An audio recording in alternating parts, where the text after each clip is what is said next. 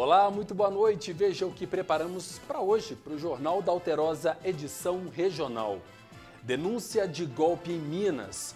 Homem perdeu 400 reais após tentar comprar uma Airfry pela internet.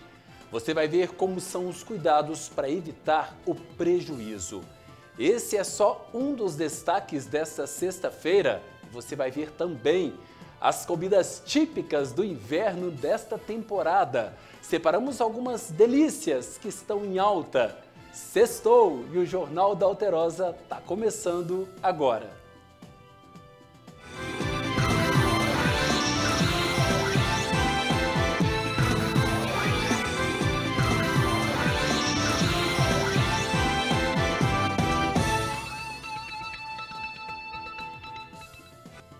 Olá, muito boa noite para você que está em casa. Não é que sextou? Seja muito bem-vindo, seja muito bem-vinda. Eu sou Rafael Silva, esse é o nosso JA Edição Regional que começa a partir de agora com as principais notícias do Sul, Sudoeste de Minas e, claro, do nosso estado. Seja muito bem-vindo. Olha, eu começo mostrando que um homem denuncia um golpe virtual em uma plataforma nas redes sociais. O bandido não mostrou o rosto enviou documentos falsos e deu um prejuízo de 400 reais. Entenda como funciona o golpe e veja o alerta tão importante da polícia. Olha só. Esse homem que não quis ser identificado procurou o jornalismo da TV Alterosa. Ele foi vítima de um golpe virtual no marketplace da plataforma Facebook. É, ele fez uma chamada de vídeo para mim, para me mostrar a Airfry, mostrou a Airfry Porém, ele não mostrou o rosto dele, somente a airfry, mostrar que estava funcionando tudo certinho. Quanto que ele te cobrou pelo produto? É, 400 reais, que a gente havia negociado, né, pelo WhatsApp. Então ele falou que ele ia me mandar pelos correios e ia me mandar os documentos dele também, para que, como ele não me conhecia e nem eu conhecia ele, para não haver nenhum tipo de, de problema, entre aspas, né? Se no caso houvesse algum problema, a gente ia ter contato de, de ambos. Então ele me enviou os documentos dele, né? Me enviou a identidade dele, eu também enviei para ele a minha CNH e ele se dirigiu ao correio. O nosso jornalismo teve acesso com exclusividade a toda a negociação feita entre a vítima e o suspeito. Inicialmente, o homem teria feito uma transferência no valor de 400 reais. O pagamento foi feito para a cunhada do suspeito. O criminoso enviou comprovantes falsos para a vítima. No dia seguinte, ele me enviou o comprovante, só que é, não estava constando o código de rastreio, não estava no sistema dos Correios. Portanto, esse comprovante era falso? Sim. Eu só fui saber que era falso depois, mais para frente, eu entrar em contato com os Correios. Hein? O suspeito ainda teria enviado fotos e vídeos da mercadoria dentro de uma suposta agência dos Correios para provar que estaria tentando encaminhar a panela elétrica. No entanto, o objeto nunca chegou ao endereço da vítima. Ele disse que a, a mercadoria não poderia ser é, liberada porque estava retida pela Receita Federal porque ele não, não tinha apresentado o valor declarado lá, que seria de 930 reais.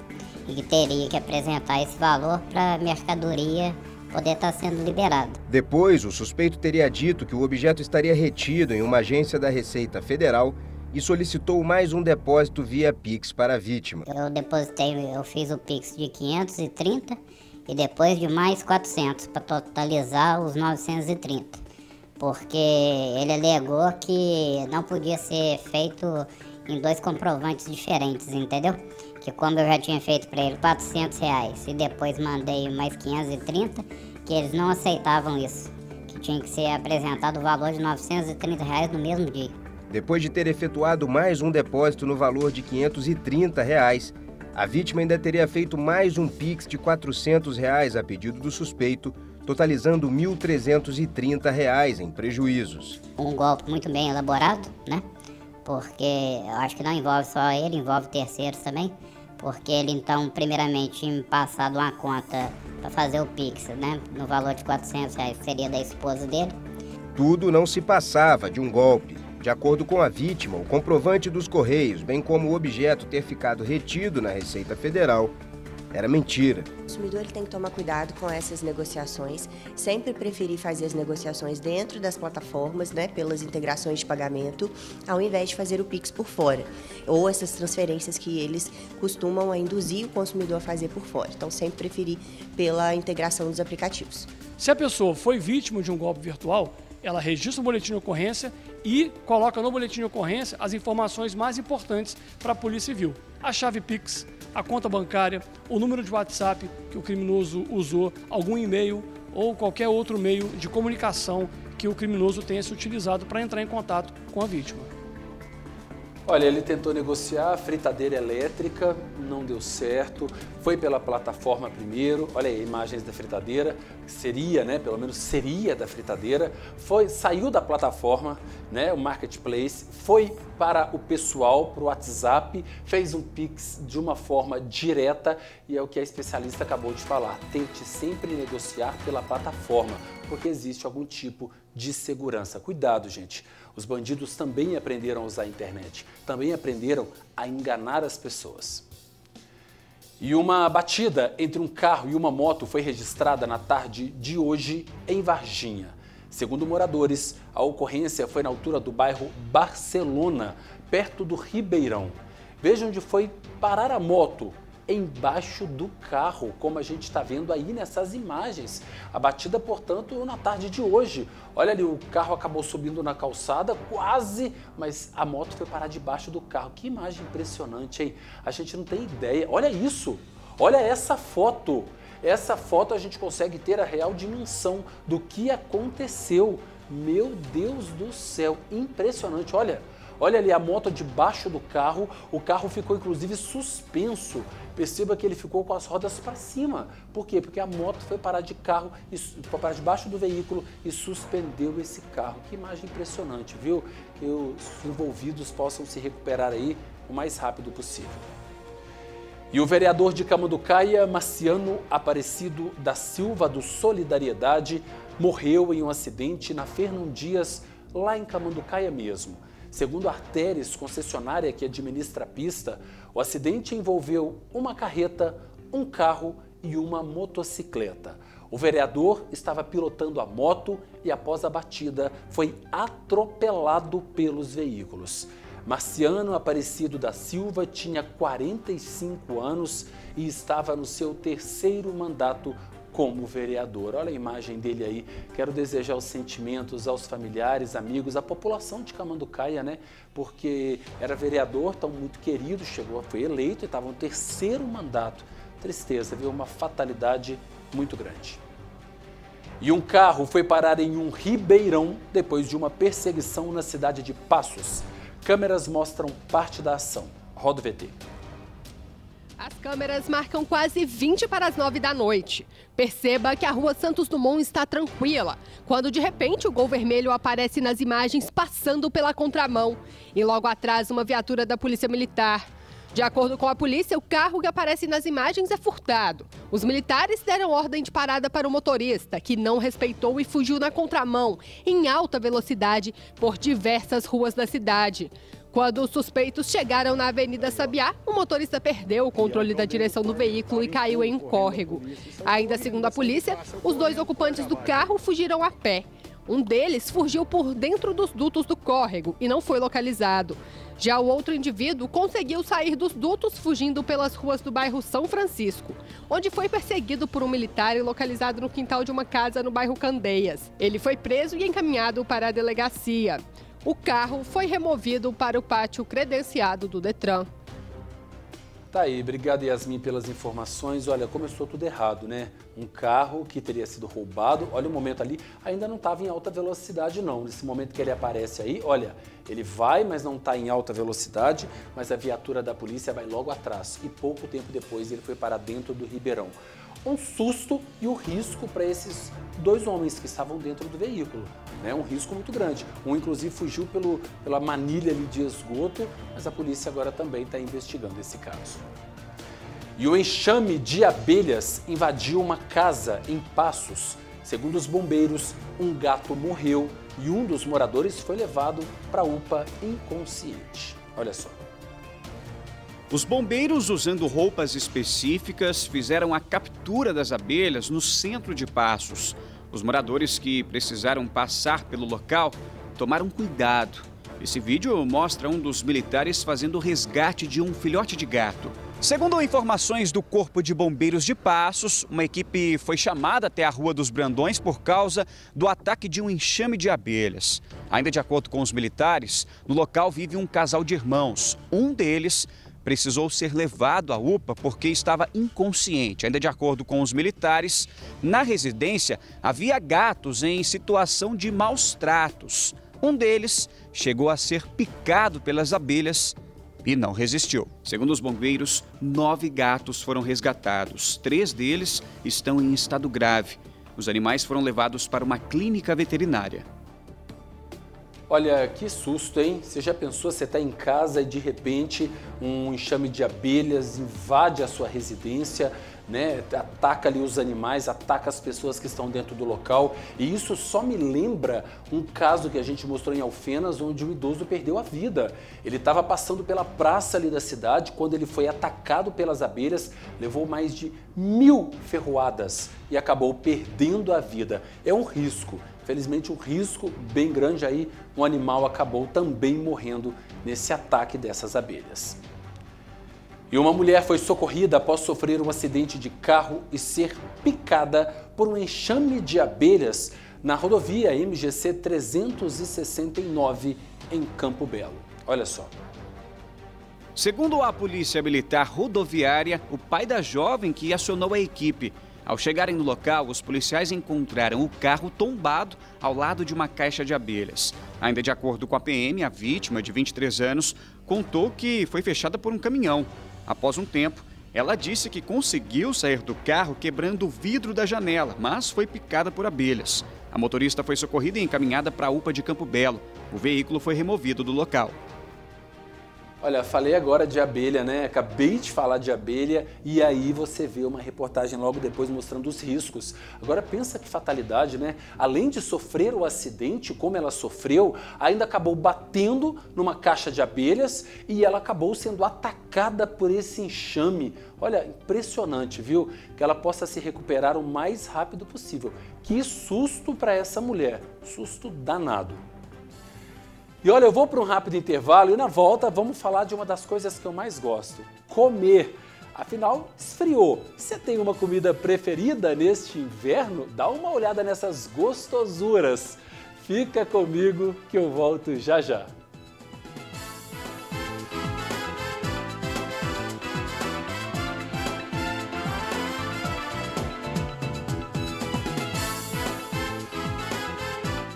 Delícia, uma hora dessa, a gente vê o Lucas ali comendo um caldinho. Ô, oh, vontade, hein? E vontade, ô meu povo, boa noite para você aqui das nossas redes sociais. Mandar um abraço hoje especial para todo mundo do nosso YouTube. Oi para você do YouTube, TV Alterosa Sul de Minas. Muito obrigado pela companhia. Seja muito bem-vindo, seja muito bem-vinda. Para você que sempre está aqui com a gente no YouTube, é muito massa e muito bacana ter a sua companhia aqui no nosso YouTube, viu? Mandar um beijo para Dona Vera, seu Geraldo, papai e mamãe lá em Divinópolis. Mandar um beijo para todo mundo que está sintonizado aqui. Muita gente, para você que a semana inteira é, teve aqui comigo, né, me fez companhia. Obrigado, obrigado mesmo, viu? Nós já vamos voltar do intervalo, é isso? Já já estamos quase. Estamos voltando, Juliana falou. Estamos voltando, estamos voltando. Bora lá então.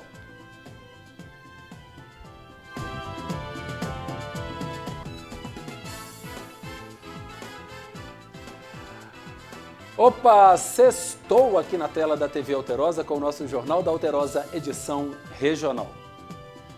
Olha, você tem uma comida preferida nesse inverno? A nossa equipe foi até um restaurante para mostrar as opções de caldos que não faltam nessa que é a temporada mais gostosa. Olha só. Algumas comidinhas combinam e muito com essa época do ano. Canjiquinha, uma sopa de macarrão. É, não pode faltar? Não, não pode faltar não. Que combina com o inverno? Caldo, sopa e tudo mais.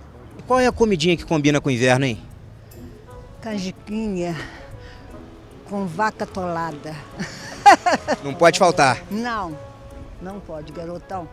Nessa época do ano, o que, que não pode faltar? Ô, meu filho, uma cozinheira de escola, tudo de bom. Uma vaca atolada, uma canjiquinha, é tudo de bom. A proposta para aquecer o inverno são os caldos. Feijão amigo, vaca atolada, baroa com frango e canjiquinha. Agora, para conversar com a gente em relação ao aumento da demanda dos caldos nessa época do ano, a gente conversa com o Mauro Cavaca. Mauro, de fato, há um aumento da demanda da venda de caldos aqui no restaurante nesse período do ano? Sem dúvida, no inverno a gente tem um aumento expressivo. Nós trabalhamos com caldo o ano todo, mas uma ou duas opções. No né? Chegou o frio, as pessoas realmente consomem bastante. Com os caldos já postos à mesa e na companhia de Mauro Cavaca, queria que você me dissesse, Mauro, quais as escolhas que você trouxe para cá e qual que você me indica para uma degustação.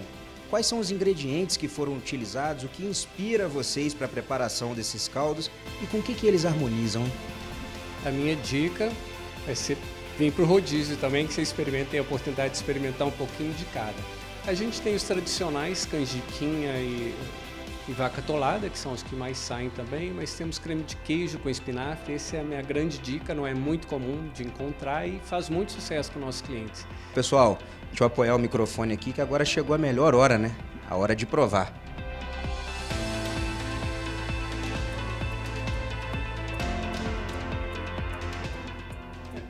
Ê, Lucas, é a melhor hora mesmo, viu? Falou, falou e disse, é isso mesmo, a melhor hora é a hora de provar. Olha essas delícias, e chega no inverno, eu falei que é a estação mais gostosa, porque é mesmo, né, gente? Aí a gente come, ó, na festa junina, na festa julina, na festa agostina, ah, só come lança no inverno. É bom demais mesmo, tem que comer, tem que aproveitar a vida, né? Quem pode tem que comer e aproveitar. E olha, o final de semana chegou, tá na hora da gente ver como fica o tempo na nossa região para esse sábado e também para o domingo. Vamos dar uma espiada aí na nossa tela. Olha, você tá vendo aí em Varginha, os termômetros amanhã devem chegar aos 12 graus, no domingo vai cair um pouquinho, vai para 10 graus. Sábado, é, em Poços de Caldas, 11 graus. Domingo, 10 graus. Em Pouso Alegre, também 11 graus amanhã e 10 graus no domingo. E em Passos, um pouquinho mais quente, né? As máximas chegando a 29 graus amanhã, mas as mínimas vão todas estar bem parecidas. E por aí, a gente já vai vendo que, que vai esfriar nesse sábado e também no domingo. E olha, o Instituto Nacional de Meteorologia emitiu um alerta com risco potencial para baixa umidade do ar durante o final de semana. Esse alerta, esse aviso, ele começa a valer amanhã no sábado, dia 20, às 11 horas da manhã. Esse alerta a gente informa que a umidade relativa do ar pode variar entre 30 e 20% aqui no sul e sudoeste de Minas. E por isso, orientações importantes é beber bastante líquido, evitar desgaste físico nas horas mais secas e mais quentes e também exposição ao sol nas horas mais quentes do dia. Para a gente ter uma umidade relativa do ar boa, tem que chegar a 60%. Imagina 20%. Então é se hidratar, beber muita água. E uma especialista explica o motivo dessa baixa umidade do ar aqui em Minas. Olha só. Então, a configuração é, da atmosfera, seja em termos de pressão ou mesmo de ventos, em baixos e médios níveis da atmosfera, estão impedindo que as frentes frias e as massas de ar frio avancem, além de São Paulo, elas conseguem passar pelo oeste do, do país, pegando o oeste do Mato Grosso, passando por Mato Grosso do Sul, mas não conseguem pegar Goiás, Minas Gerais e essa porção mais leste da região sudeste, mais norte da região sudeste, né? Chega até São Paulo, mas não consegue avançar. Tempo seco, gente, tá difícil para respirar, tá difícil, a garganta fica doendo, o nariz ardendo bastante. Tô com a minha garrafinha de água bem aqui do lado. Cada matéria que entra, eu bebo um golinho de água. Tem que se hidratar, tem que se hidratar mesmo. E três cidades do sul de Minas registraram as menores temperaturas do Brasil nesta sexta-feira. Monte Verde, Distrito de Camanducaia, Caldas e Maria da Fé fez frio, viu? Olha aí, Monte Verde, o Distrito de Camanducaia registrou a menor temperatura do Brasil, 2,8 graus. Caldas, 3,1 e Maria da Fé, 4 graus. A gente tinha ficado um bom tempo sem aparecer nas primeiras colocações desse ranking mais frio do Brasil, mas agora Monte Verde voltou com tudo, 2,8 graus. É temperatura baixa. Isso no termômetro. Porque a, aí a sensação térmica acaba sendo ainda menor, né? Aquele vento, a gente sabe que Monte Verde fica ali na Serra da Mantiqueira, é bem alta altitude, então acaba ventando bastante. E essa previsão ela vai permanecer. Eu falei agora há pouco, no domingo as temperaturas devem cair bastante em todas as cidades aqui do sul e sudoeste de Minas, principalmente durante a madrugada. Então, hidratação e se cuide. O nosso Jornal da Alterosa dessa sexta-feira fica por aqui. Para você de casa, muito obrigado pela companhia ao longo de toda essa semana. Tenha um excelente final de semana, fique com Deus e eu te espero na segunda. Até lá!